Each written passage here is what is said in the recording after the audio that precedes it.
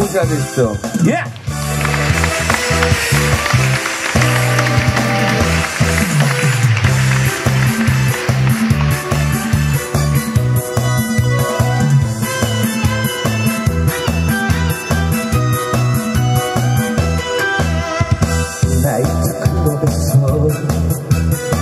우연히 만났네 저 사람 그 남자를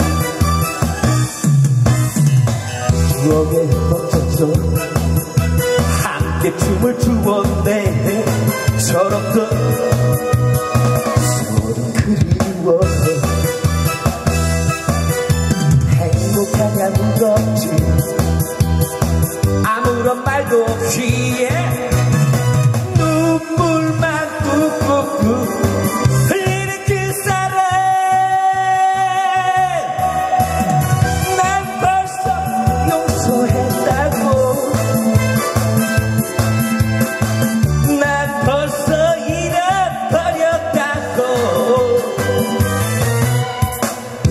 해놓고 안아주었지. 정말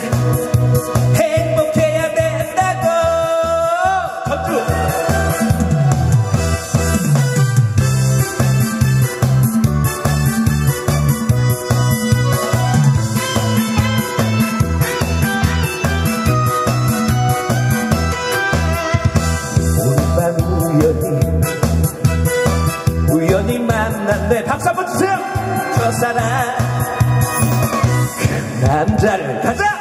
거기서. 나이트 클럽에서 힘을 주었네.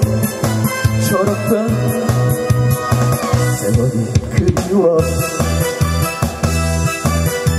행복하냐 물었지. 박수